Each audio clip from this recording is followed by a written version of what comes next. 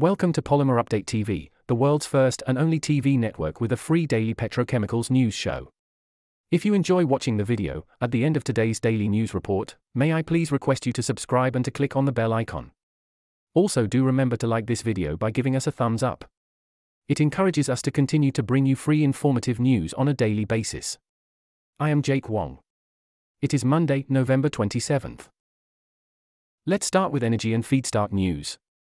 Crude oil prices declined on Friday owing to rising prospects of a de escalation in conflict in the Middle East.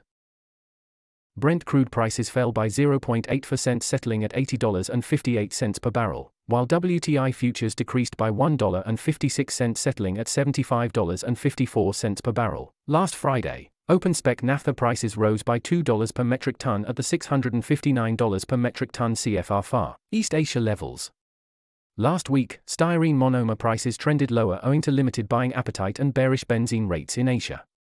On Friday, FOB Korea SM prices were assessed at the 1,025 to $1,035 per metric ton levels, while CFR India SM prices were assessed at the 1,080 to $1,090 per metric ton levels, both lower by $35 per metric ton from the previous week.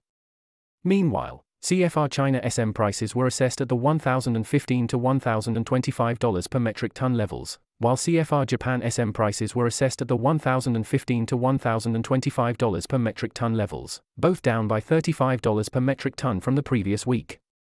CFR Southeast Asia SM prices were assessed at the 1,050 to $1,060 per metric ton levels, a sharp week on week drop of $35 per metric ton. Last week, ethylene and propylene prices were assessed stable in Asia. Last week, ethylene and propylene prices fell in Europe. Last week, ethylene prices edged higher while propylene prices fell in the United States. Let's take a look at futures on China Dalian Commodity Exchange for today. On November 27, 2023, LLDPE prices are higher by RMB 16 per metric ton at RMB 79.50 per metric ton. PP prices are up by RMB 7 per metric ton at RMB 74.69 per metric ton.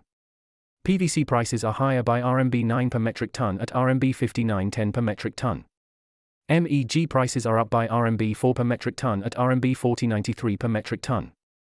In plant news, Grand Resource Science and Tech has recently shut two of its polypropylene units for maintenance. Further details on the duration of the shutdown could not be ascertained. Located at Dongguan, Guangdong in China, the PP units have a total production capacity of 600,000 metric ton per year. That's all for today's Polymer News.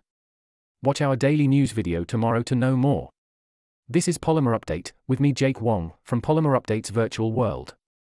Many thanks for watching.